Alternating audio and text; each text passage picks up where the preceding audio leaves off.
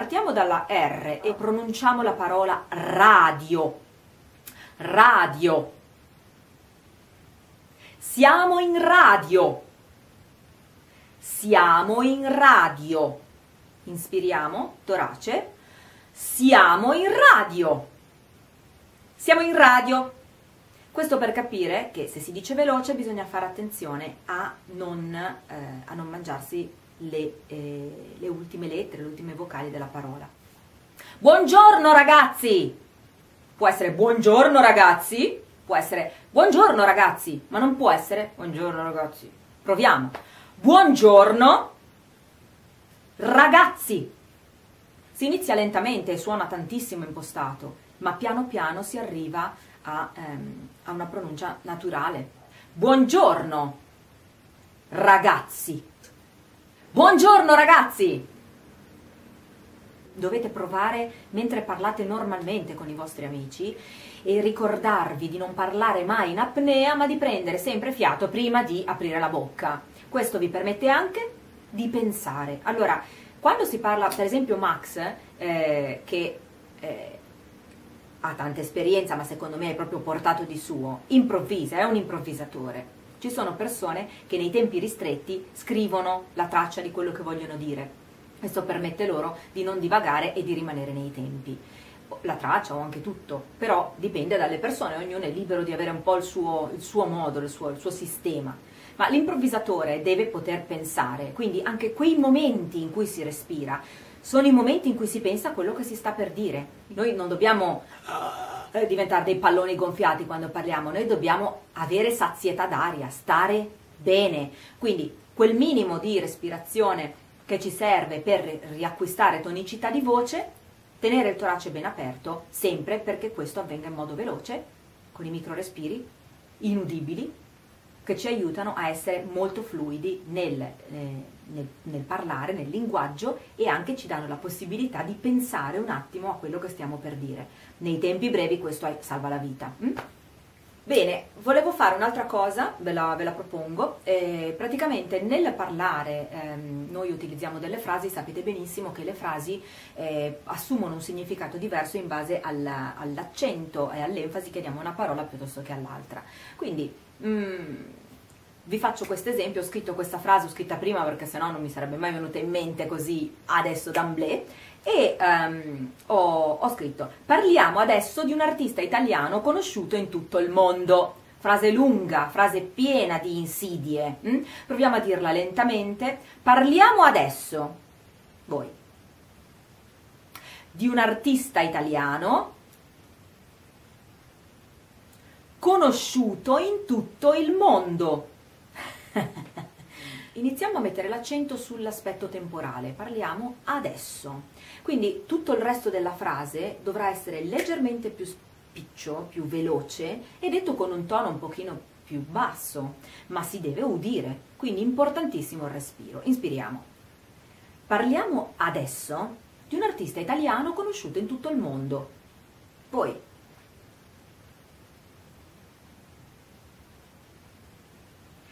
Mm. Invece ora vogliamo mettere l'accento sul fatto che questo artista sia un artista italiano. Quindi cosa diciamo? Parliamo adesso di un artista italiano conosciuto in tutto il mondo.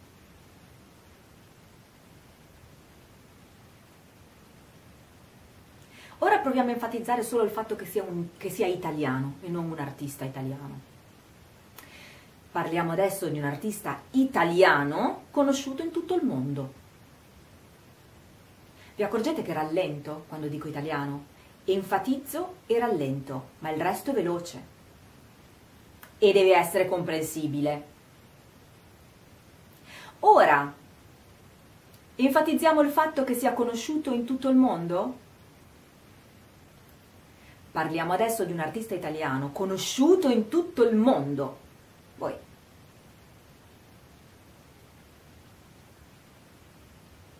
E invece adesso vogliamo dire che il mondo è proprio tutto, che in tutto il mondo è conosciuto. Cosa diciamo? Parliamo adesso di un artista italiano conosciuto in tutto il mondo. E ogni volta, scusate, fate voi? E ogni volta abbiamo dato un significato diverso. la nostra capacità di comunicazione è di essere ehm, molto precisi nel pronunciare tutte le vocali e le consonanti, tutte le parole, riacquisendo una naturalezza. Mm? Quindi anche nel decidere che cosa vogliamo enfatizzare del discorso, anche se molto breve, noi stiamo già comunicando qualche cosa, quindi questo aiuta molto sia per la sintesi che per sottolineare come tutte le frasi che hanno minore importanza, che sono un corollario a quello, mh, a quello più importante, debbano comunque essere comprensibili e sempre ben pronunciate e sempre sul fiato. Hm? Lavoriamo un secondo sull'aspetto poi più ehm, eh, interpretativo no? della voce, del far capire alcune cose, di far trasmettere alcune cose. Prima di tutto, e qua ritorno a, eh, mi, mi, rimetto a Max, Max Parisi perché eh, io non, non più di tanto su questo non posso, non posso esprimermi.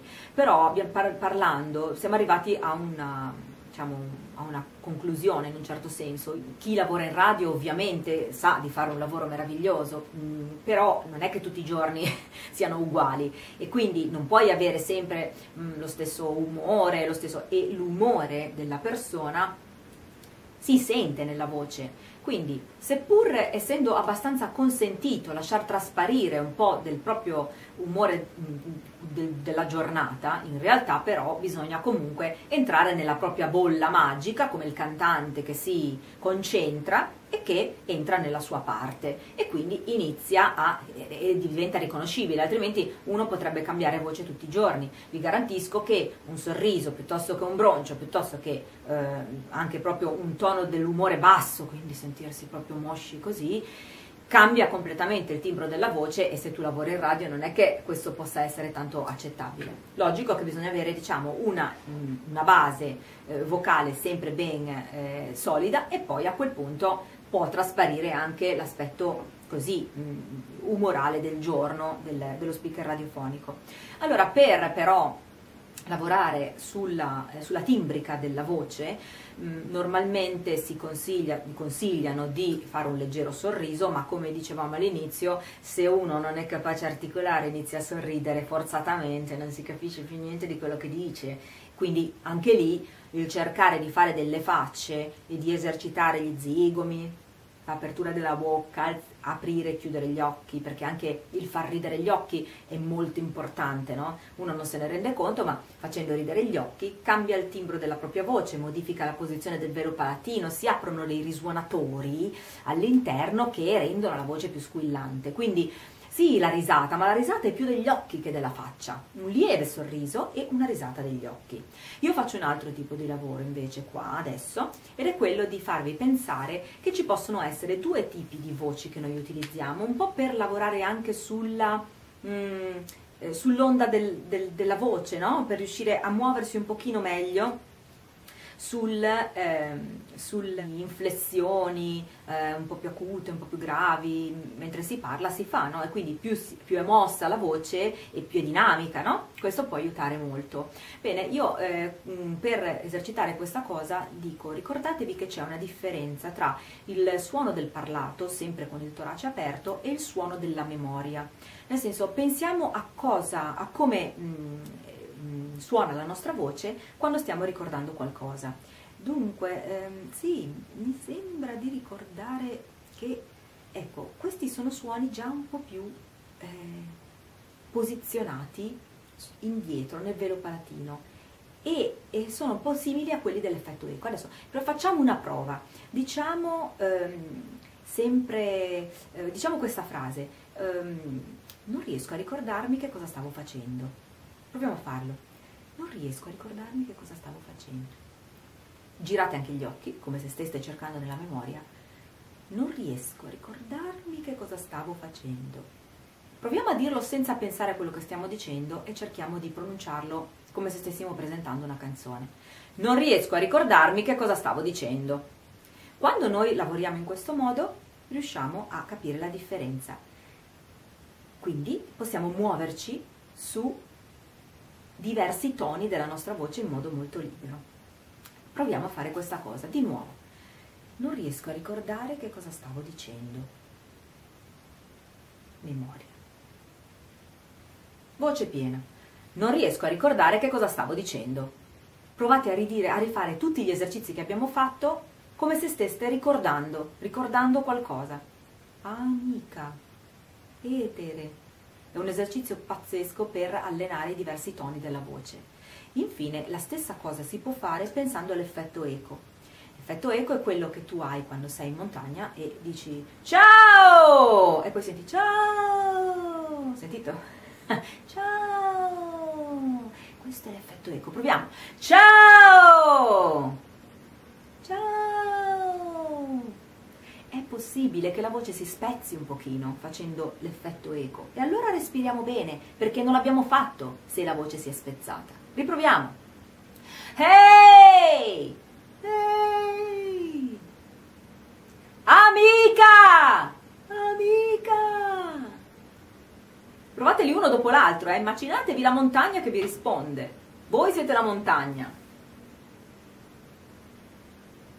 Cosa avevamo detto? Etere! Etere! Etere! Se voi provate... Adesso io sto parlando con quella voce, non è che sia una cosa così strampalata, non è una voce stranissima, ma serve per mm, pronunciare bene quella frase che avevamo detto. Parliamo adesso di un artista italiano conosciuto, con, que- con questo tipo di voce riusciamo comunque ad avere una bella risonanza di suono, però senza che sia forte come l'altro e possiamo dare più enfasi a una parola piuttosto che a un'altra.